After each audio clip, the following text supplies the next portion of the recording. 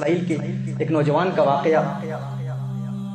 एक नौजवान, वो बाज़ार में कुछ चीज़ें फरोख्त किया करता था संदूकचे बेचता था, पिटारियाँ बेचा करता था।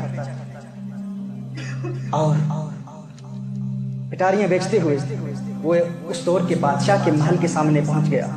बादशाह की शहजादी की कनीज बाहर आती है, देखती है कि इंतहाई हसीन और ज़मीन नौजवान इंतहाई खूबसूरत नौजवान। बाज़ार में पिटारियाँ बेच रहा है। वो फ़ौरन जाके महल में जाकर शहजादी को बताती है इतना हसीन नौजवान है, इससे ज़्यादा हसीन नौजवान मैंने कहीं नहीं देखा। शहजादी कहती है, फ़ौरन किसी बहाने से इसे महल के अंदर ले आओ। वो उसे कहती है, हम तुझसे जो चीज़ें तू फरोख्त कर रहा है खरीदना चाहते हैं, तू महल के अंदर आ जा। वो नौजवान हसीन और जमील नौजवान महल के अंदर आ जाता है। जो भी वो महल के अंदर आता है तो वो कनीज अंदर से दरवाज़ा बंद कर देती है। फ़ौरन शहजादी आ जाती है। वो कहता है, जो आपने खरीदना है, आप फ़ौरन खरीद ले। मैं ये फरोख्त करने के लिए आया हूँ। शहजादी कहती है कि, हम गुनाह की नीयत से तुझे अंदर लाए हैं। वो हैरान हो जाता है। वो कहता है, अल्लाह से डरो। बाज आ जाओ, तुम क्या कह रहे हो? रब देख रहा है, अल्लाह देख रहा है। वो शहजादी कहती है कि, अगर तूने हमारी बात ना मानी तो हम बादशाह को बताएँगे कि तू ज़बरदस्ती अंदर आ गया है।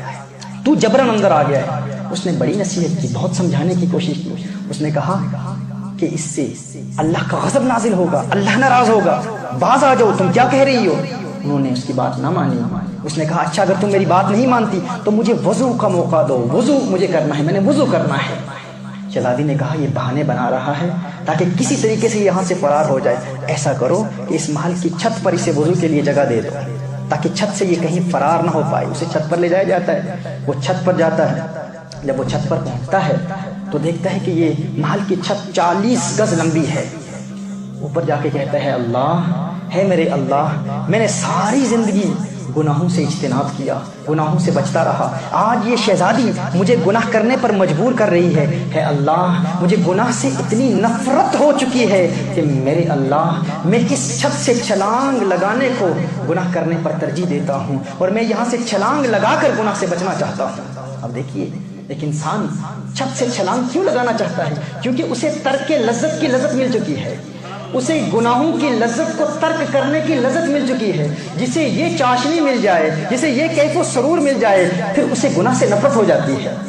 वो इनर फीलिंग्स वो इनर ट्रैंक्विलिटी वो पीस ऑफ़ माइंड वो पीस ऑफ़ हार्ट वो सकीना कल जब इंसान को मिल जाए तो फिर गुनाह से उसे नफरत इतनी हो जाती है कि वो कहते हैं, अल्लाह, इस गुनाह से बेहतर है कि मैं इस छत से छलांग लगाकर नीचे गिर जाऊँ।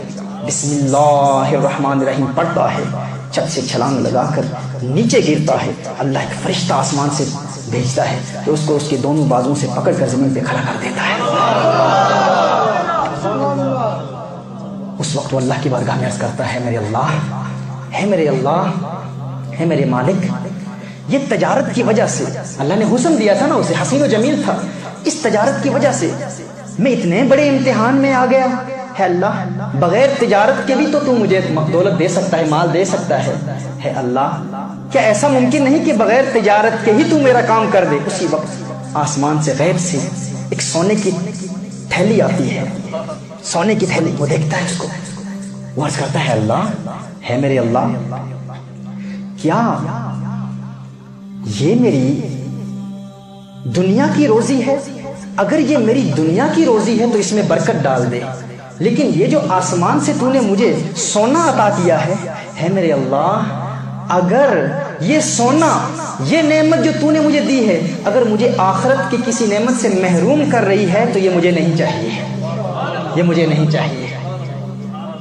उसी वक्त गैब से आवाज़ आती है कि वो जब तू छत पर था ना तो गुनाह का मौका मिल रहा था। तो तूने सब्र किया। ये उस सब्र का इनाम है जो तुझे दुनिया में ही मिल गया। उसने कहा, है मेरे अल्लाह, नहीं नहीं नहीं। अगर ये सब्र का इनाम दुनिया में मिला है, जो आखिरत के इनाम से महरूम करेगा तो ये थैली वापस ले ले, ये सोना वापस ले ले। उसी वक्त वो सोना फेर लिया गया। उसने कहा, मुझे आखिरत का इनाम चाहिए। आखिरत का इनाम चाहिए।